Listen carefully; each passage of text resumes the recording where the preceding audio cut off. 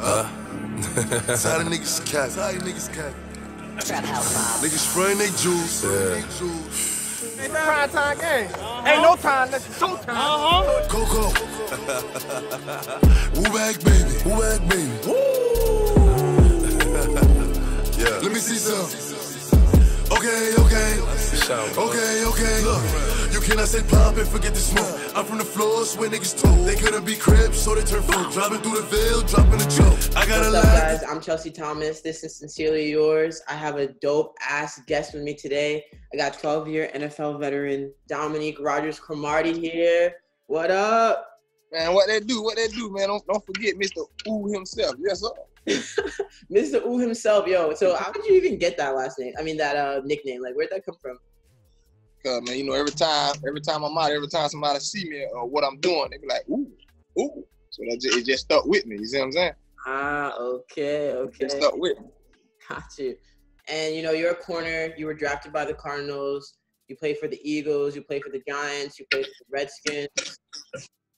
Had a super long career. How have you been able to maintain this long career. The average, you know, the average, uh, I think the average career length corner is like three years, and you've been in for twelve. So. Man, I'm just saying, man, I, I never stop working.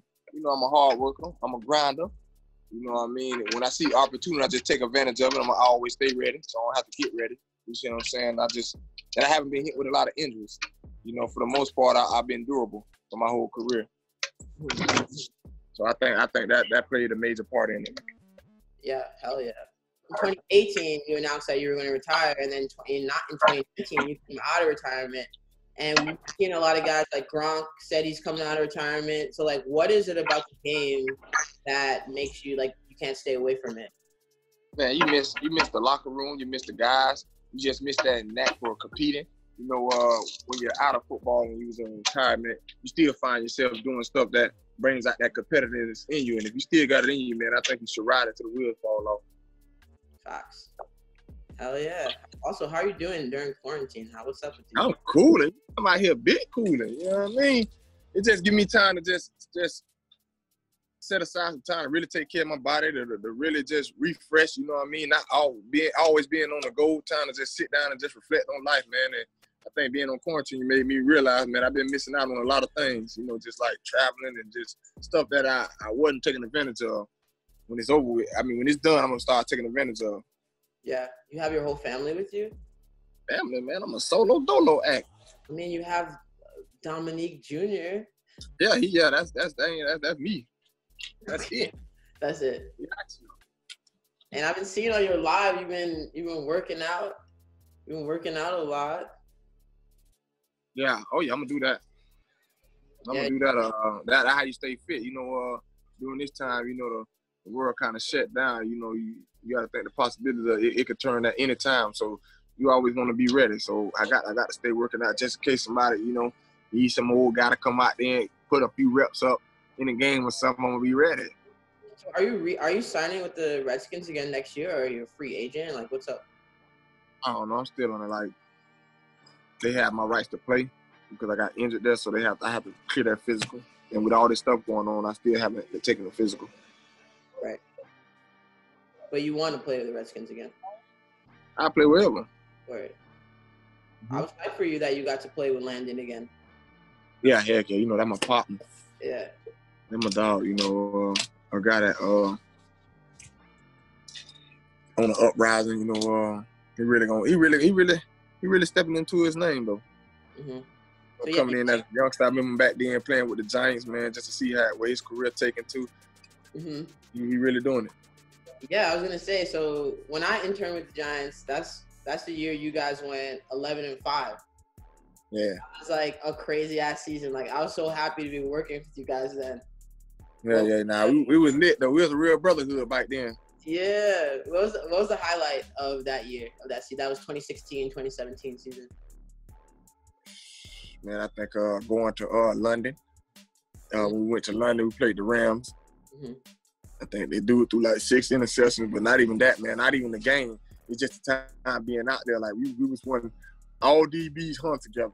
Like everywhere, like we went somewhere, we went somewhere together, and it was fun. I mean, all day we spent together. I think I think that was the highlight of the trip. did you go to strip clubs out there? I know you're a huge uh, strip club guy.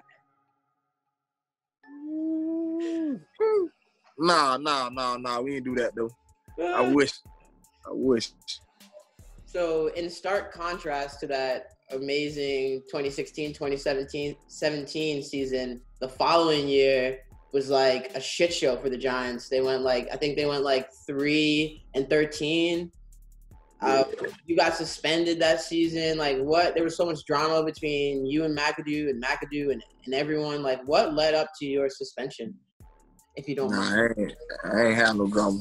You know what I mean? I'm, I'm cool, calm, and collected. You know, I think uh, what really what really got me suspended was, you know, uh, I acted out of character a little bit.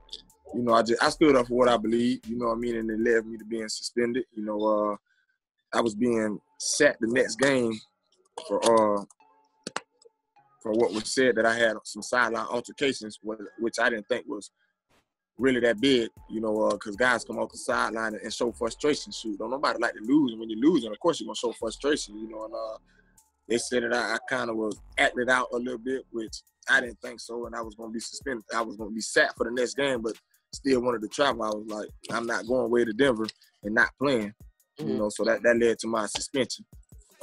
Mm.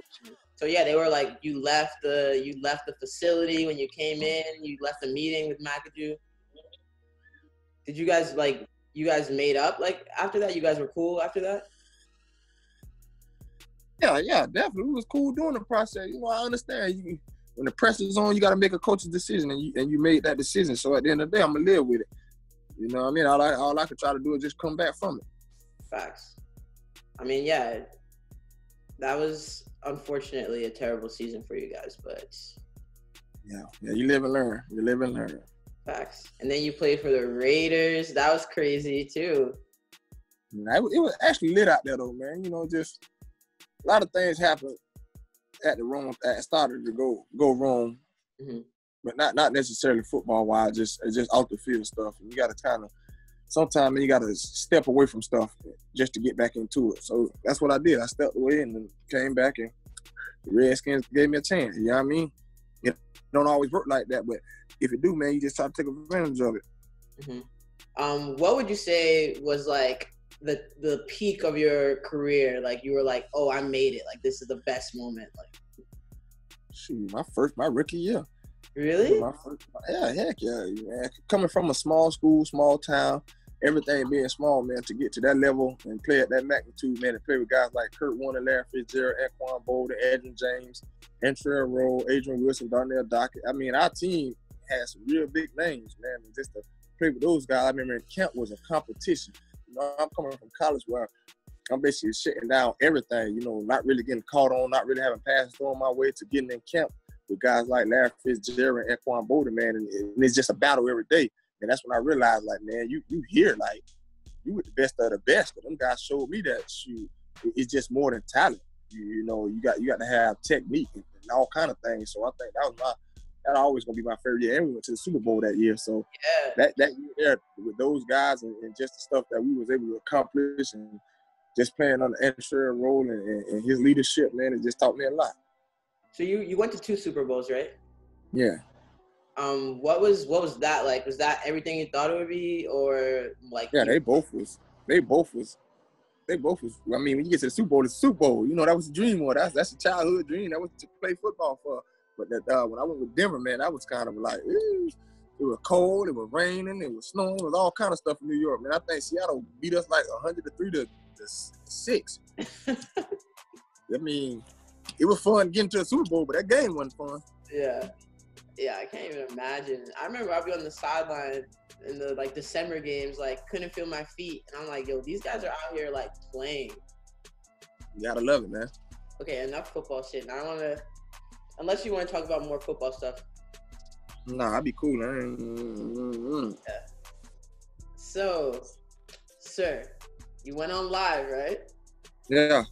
I, I, I don't even know who you were talking to. You're talking to some dude, and you were like, "Yeah, I have a sex doll. I got different sex body parts." What? Yes, you said, Yeah. me, you really do? I'm about that drama, man. I'm about that lie. Yeah. But why? But why? Man, it's just, it's just curiosity. You know what I mean? But See them what? on the internet, you be like, like, man, I wonder what this shit be about. And it's nice. Like, wouldn't you rather a warm body? like, Of course, you'd rather a warm body, but that warm body ain't always so warm. I'm sure your I'm sure your DMs be. Nah, see that where a lot of people go wrong. You can't you can't say that. You're not sure. You don't know that.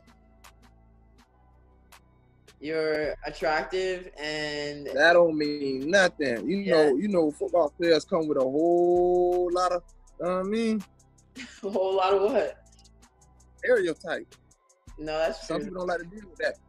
That's true. So you would so you only use the dolls, like I ain't say I use the dogs. I just say I have them. don't put words in my mouth. no, you don't. You have it, but you don't use it. They for decoration. You are a liar. You won't get me. So you paid. I heard you. I heard you say you paid twenty five hundred for that shit. So you just paid Yeah. twenty five hundred just to look at it. Yeah. You lying, yo. You lying right now. Ah, You lying. Ah, for real. So you just keep it like in the corner of your bedroom, and then you're like, oh wow, like. Nah, that thing ain't never. It's still in the box. So what about the body parts though? You told you said you got a fake ass. What what do you do with that? Nothing. They still in the box. I just grab stuff. I'm I'm silly. You come to my house, you know, tell them what you gonna see in this thing. Oh my god. See, I I really thought you was using it.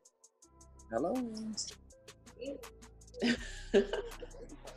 Nah, nah, nah, nah, nah. I'm just I'm just a goofy guy. It, it ain't no telling. hmm I might make a video. It, it can- it's used as a prop. I might make me a little funny video. You know, I'm a funny guy. Yes, you. I know you are. You dress up in Spider-Man suits and you walk around. Yeah, see, ain't no telling. Ain't no telling how I'm feeling. So you swear you never used any. You never so supposed to swear, and I don't don't, don't do that. Okay, you never supposed to swear, but you keeping it a stack. Like you never, you never even took it out the box. Next question, please. Okay, so okay, so what if a girl? so so what if a girl like came to your crib and you're about to like whatever with her, and she was like, "Yo, like let's bring in the doll." I'm gonna check her. I'm gonna check her forehead to make sure make sure she's straight. I gotta check her temperature. You wouldn't be into that? A doll or another person? No, like you were with a girl, right? And she Yeah, peeped, I know what you're saying. yeah, yeah, and she peeped your doll, and she's like, "Yo, let's let's let's like incorporate it into the thing," you know? Yeah, I probably have to put her in the car and send her home. Wow. she ain't rap. She ain't rap too right. Wow. So it's okay for you to have it, but if someone wants to use it, then something's wrong with her. Yeah, that that's my little prop. That's my little decoration. I see. Damn, you're not you're not I'm all, I'm all for I'm all for the role play, full play, but that that, that, that, ain't, that ain't it. That's not open minded. Yeah, it is. You got to be open with another person. Now you said you want to bring somebody, one of your friends in. That's different. Oh, okay, okay. Talking about a whole dog. Nah, we ain't living like that. I was thinking like, yo, I don't know if he's being dead ass right now, if he actually uses it or I'm, I'm just I'm just silly. You can't believe anything come out my mouth for real. yeah, you are silly. I'm always in joke mode. I'm gonna when we when we finish, I'm gonna send you this really actually I'm gonna show it to you right now. There's this really funny photo of you that you posted on your Instagram that I always just like look at and laugh. Like it's just hilarious.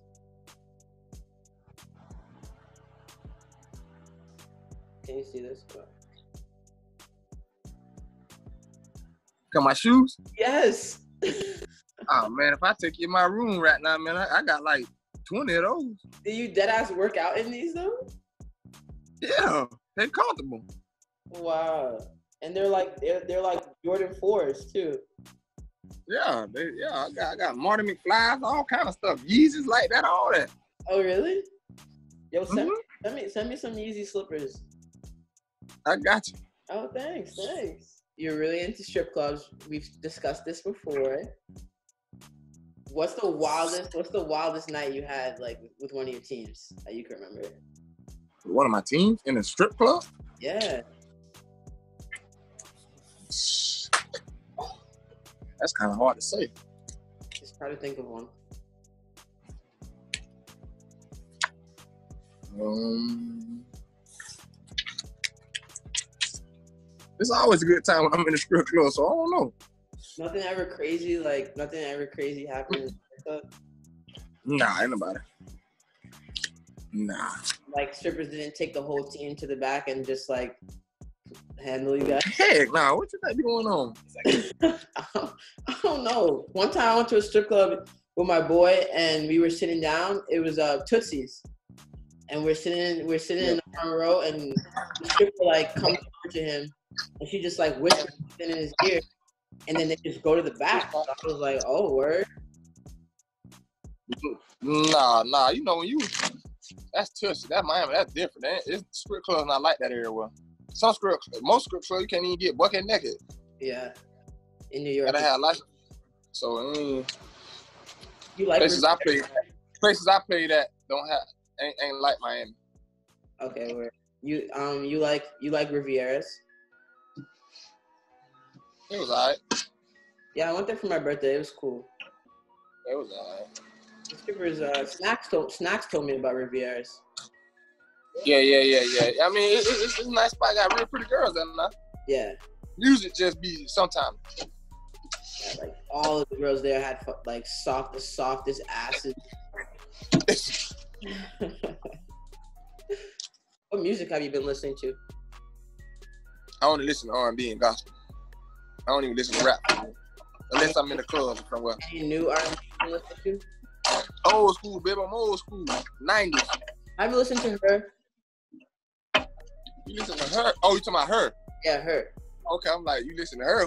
I ain't say nobody. Yeah, that's that new. That's that new generation. Yeah, but you would like her if you like, cause I That's cool. I like some of her songs. yeah, she's she's she's really holding it down for R&B right now. Yeah, she got that old school vibe. She's the only one really. And Summer Walker, you like Summer Walker? Yeah, Summer Walker nice. Yeah. That's really. I, I mostly listen to '90s R&B too. Did you um? Did you watch that Teddy Riley Babyface? Mm, I, I did for a little bit, but they kept having technical difficulties, so I stopped. Yeah, I didn't watch the when like I watched the technical difficulties one, but I didn't watch it when they got their shit together. Right. But Tidal made a playlist. I, I use Tidal, and um, Tidal Babyface first Teddy Riley playlist. That shit fire, Yeah. bangers, all bangers. I got to check it out. Yeah. What do you, use? Tidal? What do you use?